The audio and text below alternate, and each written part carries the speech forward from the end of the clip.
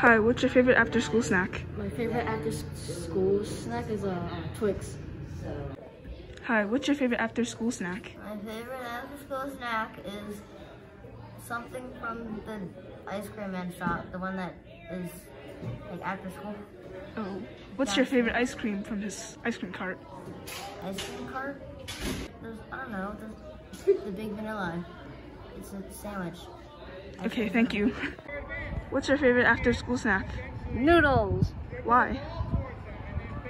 Because it comes down my nerves every time when I eat them. What's your favorite after school snack? Uh, my favorite after school snack is uh, the fruit in the cups that the ice cream man brings because it doesn't have any gluten in it so I won't die and it's also really cheap. So, and it's like right next door. What's your favorite after school snack? Uh, my favorite after school snack is probably Arizona green tea and gummy bears Why? because I like gummy bears because they're sweet and they wake me up because school's boring. What's your favorite after school snack? Uh, the yogurt from Beacon After School And what's that? because it's the only thing I eat after school before I go home.